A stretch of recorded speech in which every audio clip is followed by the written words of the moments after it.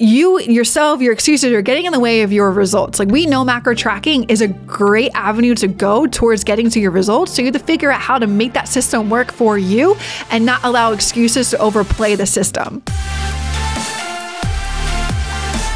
What's up, you guys? Welcome to the Macro Hour with Nikkiey Stott, co founder and brand personality of Warrior Babe, where we talk about mindset, methodologies, and tactics that will help you lose body fat, build muscle, be strong, and feel insanely confident. I am your host, Nikkiey Stott, and welcome to episode number eight, all about the real science of fat loss and today I'm going to share with you three benefits to tracking macros and why they're better than focusing on just calories.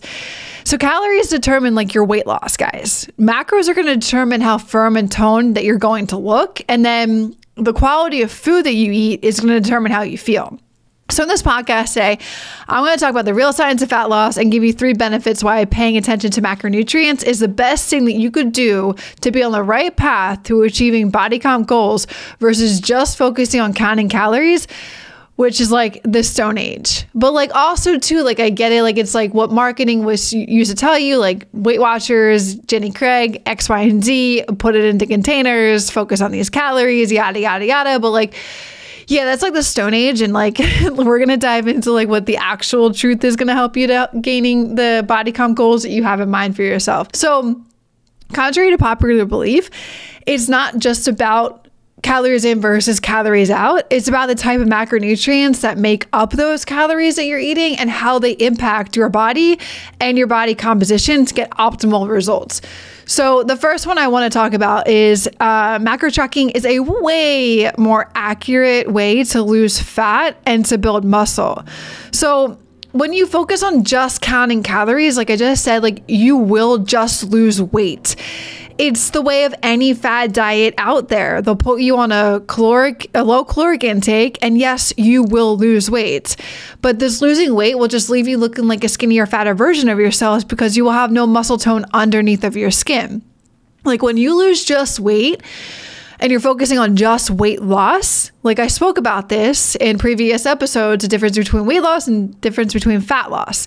But when like you just focus on losing weight, unfortunately you're going to lose the weight Unfortunately, the weight that you will lose will be a little bit of everything. It's gonna be fat, it's gonna be muscle, it's gonna be fluids, it's gonna be org- like your organs are gonna get smaller. So it's gonna be like everything. So like you could be 170 pounds and focus on just weight loss and like you will lose all of that. You'll lose fat, muscle, fluids, organ size, but like and you'll become just a skinnier, fatter version of yourself. But like if you want to achieve body composition goals, meaning building muscle and changing the way your body looks, and being more toned, you don't want to lose muscle in the process. You want to lose fat. Okay. So, macro tracking is a way more accurate way to lose fat and to build muscle. It's not, it's going to give you way more um, than just trying to lose weight. Okay. So, the ultimate goal to successful fat loss is to preserve as much muscle as possible or even gain some along the way while at the same time you're losing as much body fat as possible. So, like, again, one is like you're going to be skinny fat. Two is like, you know, more athletic, fit figure looking. Skinny fat, focus just on calories, lose weight, yada, yada. Focus on macronutrients, lose body fat, be more athletic, and be more toned. Okay. You're not going to get that, but to put more tone, more building muscle, just focusing on calories. You'll achieve that when you focus on macronutrients that will make up those overall calories, right? So, like, let's say, like, you're on a 2000 calorie diet okay and like you're watching how many calories in each of your meals in order to hit that 2000 calories that's just calorie counting but like i want you to focus on okay you have 2000 calories what percentage of that 2000 calories is coming from carbs, coming from fats, and is coming from protein. Because macronutrients are the essential building blocks of our body, comprising proteins, carbohydrates, and fats. And the tracking allows us or you guys like target these nutrients according to your individual goals and needs. Again, fat loss, weight loss. All the macronutrients are necessary to have in your everyday diet to build muscle and to lose body fat.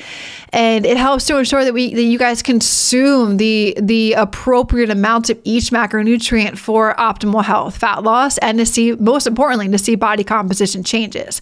So number one, macronutrient tracking is just a way more accurate way to lose fat and to build muscle. Again, it's different than weight loss.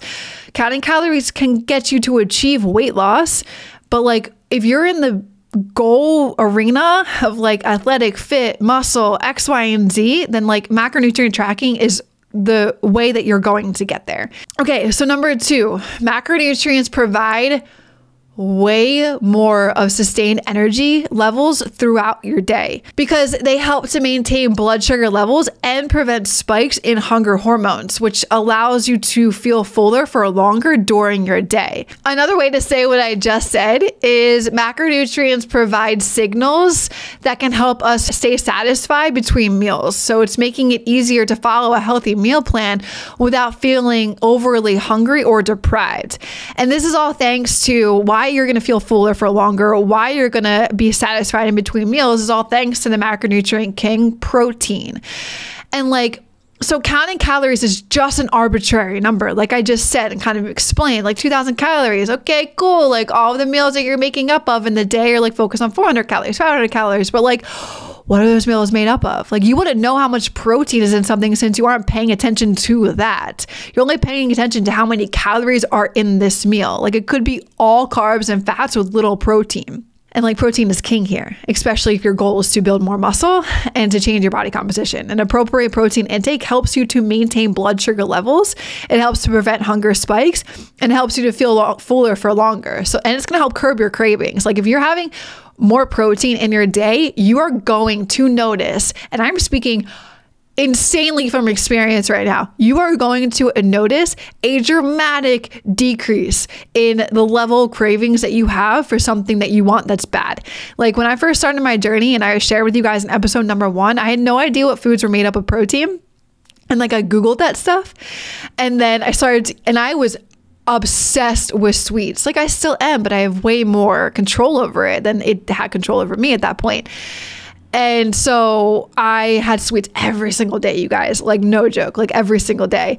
Um, but as soon as I started incorporating more protein into my everyday nutritional needs and like gave my body that, my cravings subsided dramatically.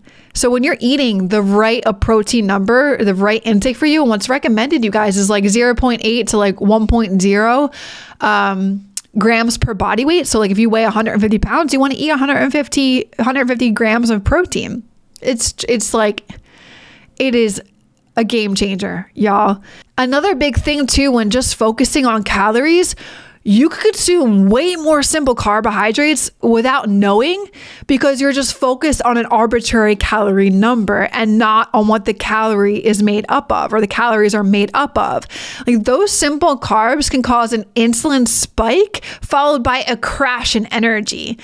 Whereas complex carbs, on the other hand, and you would know this by learning more about macronutrients, complex carbohydrates are a better source of long term energy, which prevent crashes from happening.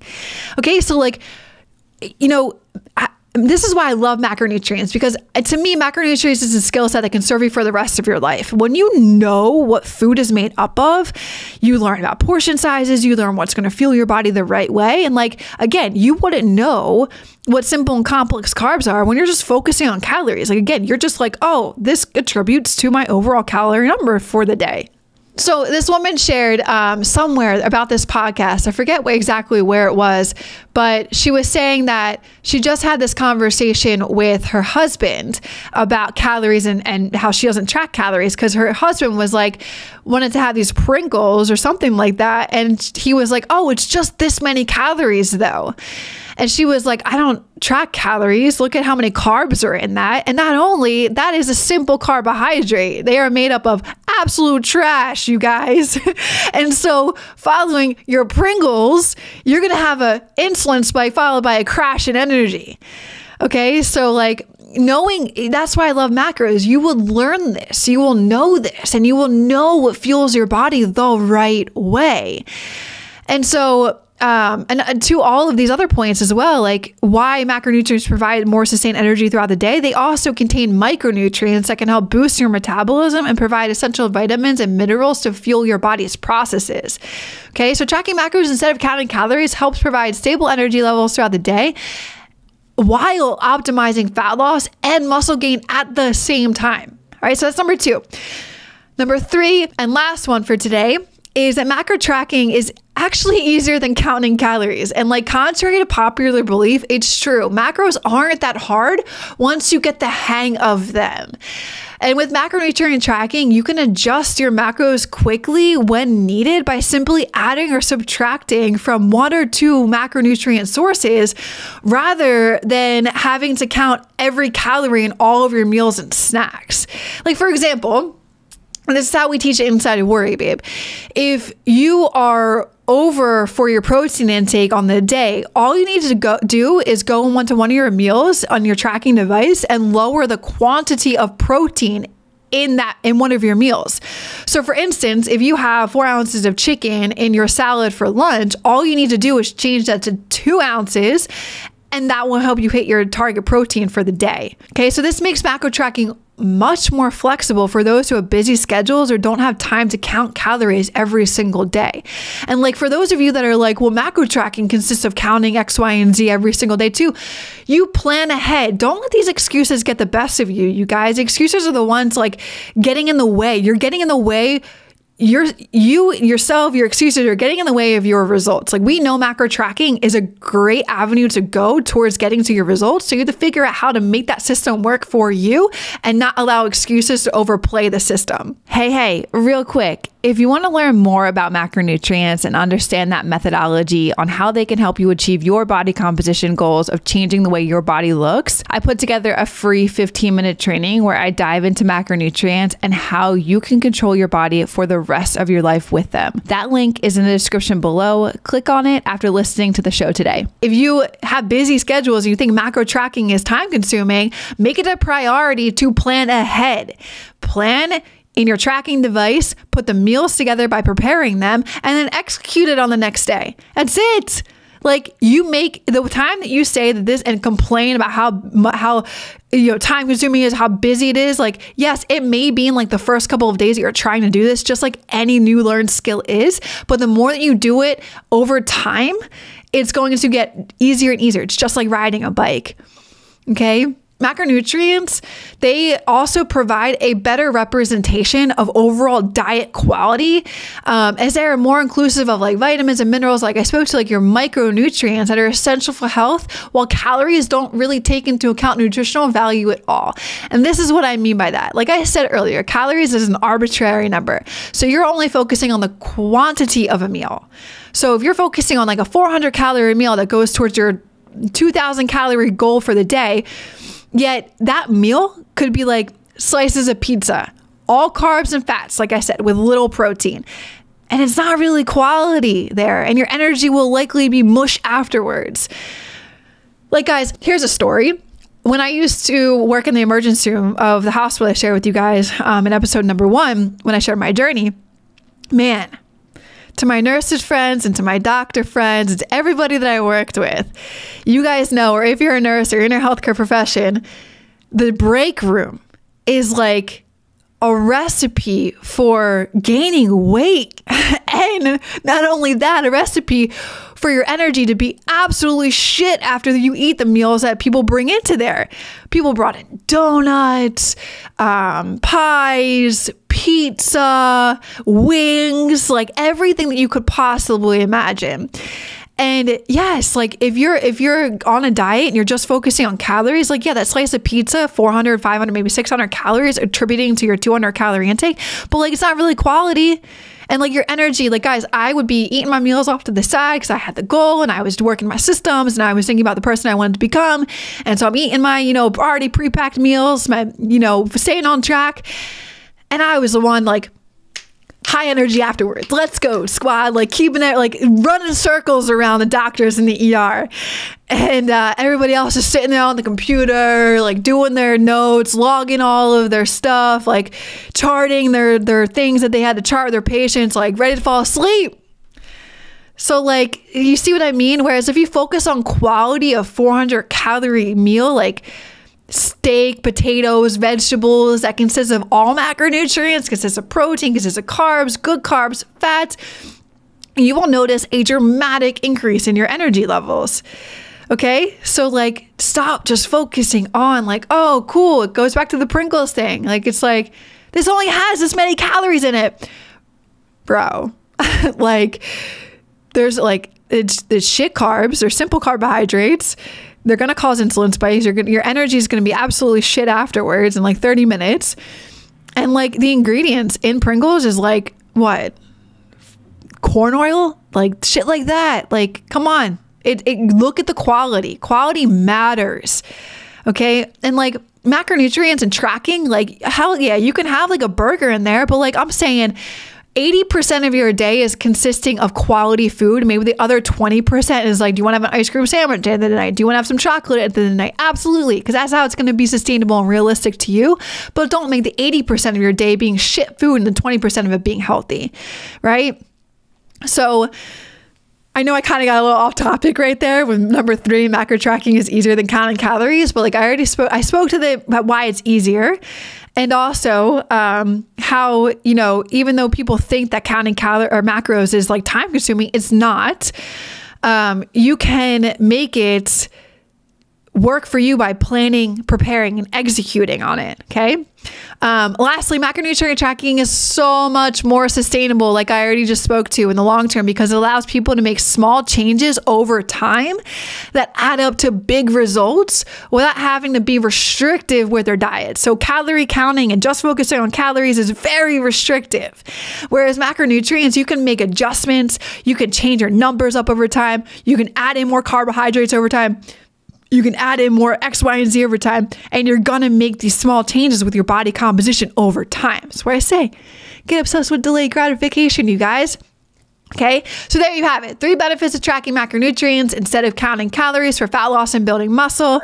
Guys, if you're looking to take your fitness game up a notch, I highly recommend you start tracking your macros instead of counting calories. Macronutrient tracking is a much more accurate way to gauge how many nutrients you're eating, and it helps to ensure that you're getting the right amount of each macronutrient for optimal health and performance and also make sure you're getting quality food, which is going to help with your energy levels throughout the day. And if you're not sure where to start, you guys make sure to check out a free training that I put together about macros and using them to be in control of your body for the rest of your life. That link is in the description below this podcast. So thanks so much for listening today. I hope you guys enjoyed it. I hope you guys received insane value from this. Don't forget to subscribe, follow the channel. Please leave a review. I would highly appreciate that and appreciate you guys tons.